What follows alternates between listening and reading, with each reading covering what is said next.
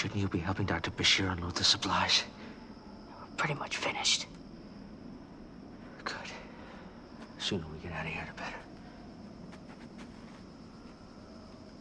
That soldier over there, you see his necklace? Those are Ketracel white tubes. So, Know how we got them? mail order? He took them off the bodies of dead Jem'Hadar. Jem'Hadar that he killed. It's his way of keeping score, And you find that impressive? isn't it? I don't think so. Take a look around you, Nog.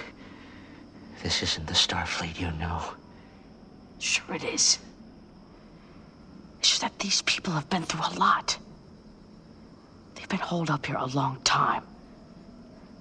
Seen two thirds of the unit killed. But they haven't surrendered. Do you know why? Because they're heroes. Maybe. But I still don't want you anywhere near them.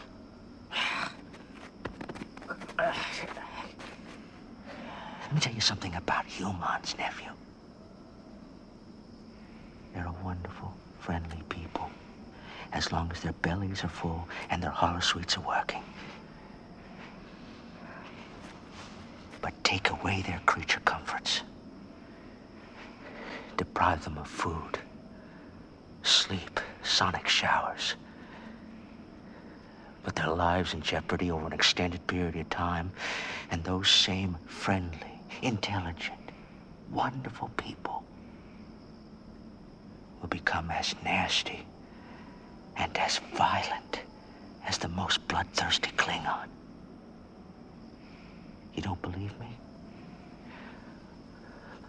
Look at those faces. Look in their eyes. You know I'm right, don't you?